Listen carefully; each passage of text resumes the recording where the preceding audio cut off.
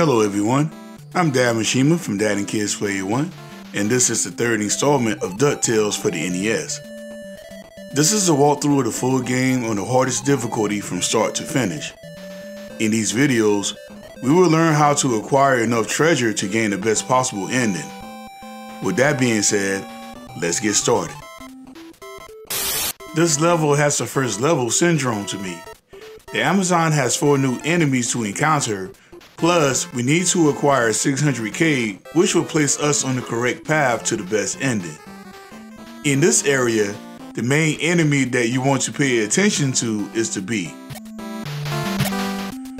Proceed to the right. Take out the gorilla and make sure to scan the area for diamonds with the pogo jump. Now, the reason why the bee enemy is so annoying is because they respawn infinitely. So always be mindful of them as you make your way through the level. Make sure you check all the stones for diamonds by either doing a pogo jump or by using a golf swing.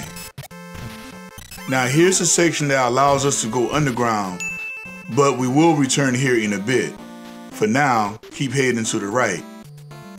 Simply bop the snake with a pogo jump and continue to search for diamonds. In order to achieve the 600k, we need to use Launchpad to fly out the level to restart it. But for now, let's aim for at least 400k before we do so. When you reach the fourth vine, climb it to find a hidden room which contains two ray diamonds.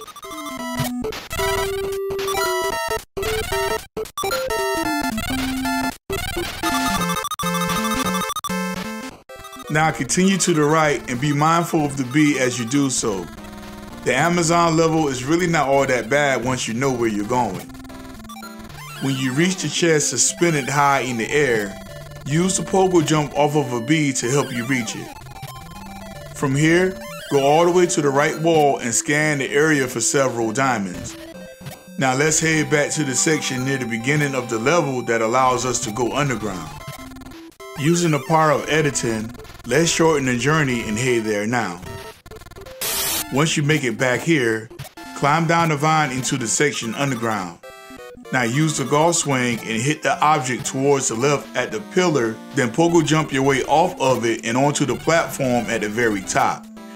Keep going to the left and collect the multiple treasures in the hidden room. Once that's finished, let us backtrack and head to the right. Be mindful of the various spiders and bottomless pits down here.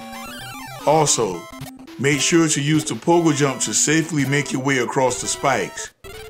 Be sure to collect the one up and once you reach the end, use the vine to climb your way back to the surface.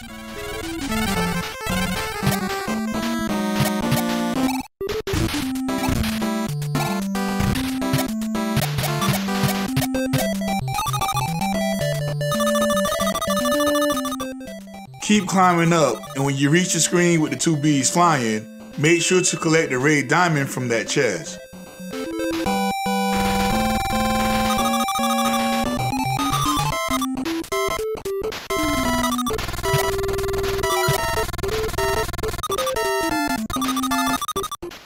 Now jump over the Venus flytrap and grab the ice cream if needed. From here, we need to head left. This area takes a bit of platforming skill and a bit of luck. Avoid the bees as best you can and do your best not to fall.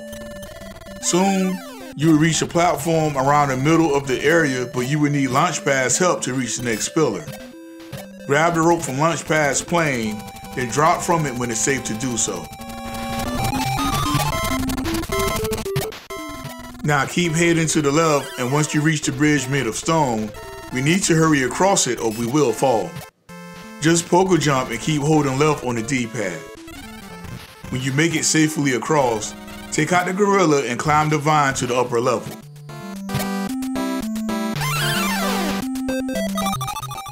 At this point, take out the stones and grab the red diamond from the chest. Now talk to Launchpad. When he asks you to fly back to Duckburg, make sure to select no. Now hop on the upper level, then head to the left. You will reach another hidden room with one red diamond and three yellow ones. Collect them, then head back to Launchpad. you should now have over 400k. Now with that amount, we can fly out this level, then come back with only needing to acquire 200k to achieve the 600k.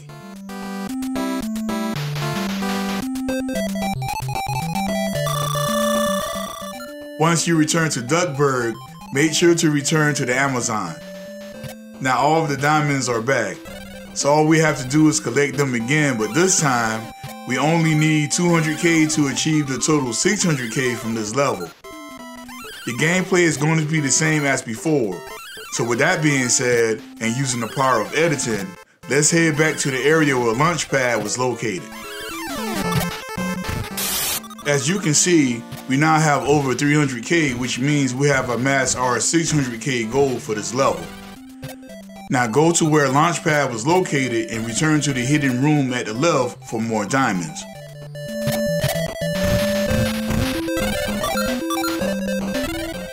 Now let's backtrack towards the beginning of this area and proceed to the right. Here is where we have to outrun an Indiana Jones death trap. Make sure to use the pogo jump to evade the spikes here. At this point, take out the native who will always try to hit Scrooge with a throwing spear. Now continue to the right and make sure to dodge the native spear as you go. Once you reach the area with the two spiders, it means we are near the end of the corridor.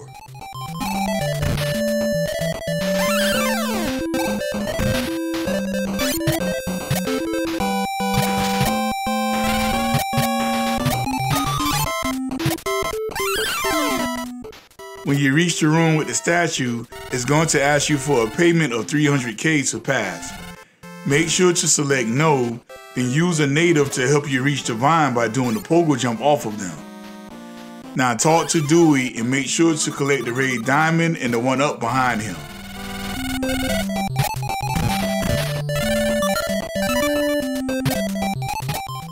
Finally, proceed to the left and get past the final death trap to enter a boss battle.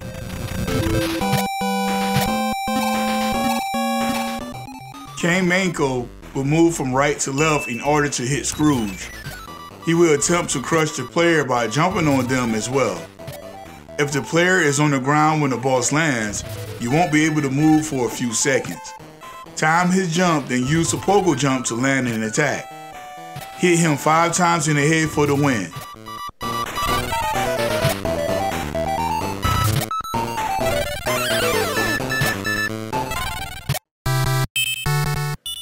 Alright guys, that's it for the segment. Be sure to tune in for part 4 of DuckTales. I'm Dad Mishima. See you next video.